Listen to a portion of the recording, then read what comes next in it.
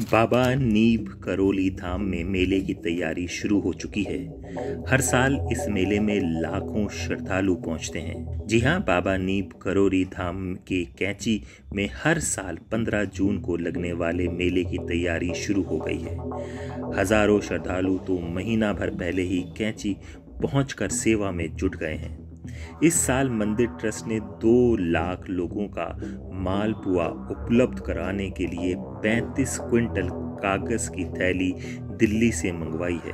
मथुरा के सोंख गाँव में मालपुआ को बनाने के लिए 45 कारीगरों का दल बुलाया गया है।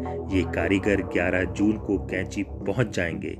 इन कारीगरों के सहयोग के लिए करीब 24 लोग मंदिर ट्रस्ट के भी मौजूद रहेंगे। प्रसाद के साथ मिलने वाली सब्ज़ी कागज़ से बने गिलास में उपलब्ध कराई जाएगी।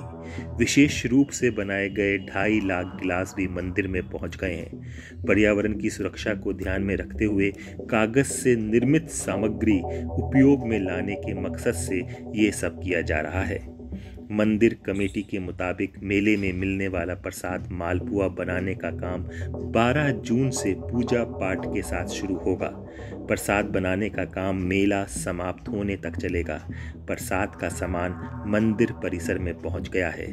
तो 14 जून को आप लोग पहुँच जाइए और 15 जून से शुरू होने वाले मेले में जाकर बाबा का आशीर्वाद लीजिए और प्रसाद, मालपुआ प्रसाद लेना ना भूलिए। प्रसाद लेकर आइए, खुद भी दीजिए, आसपास के लोगों को भी दीजिए और बाबा का आशीर्वाद पाइए।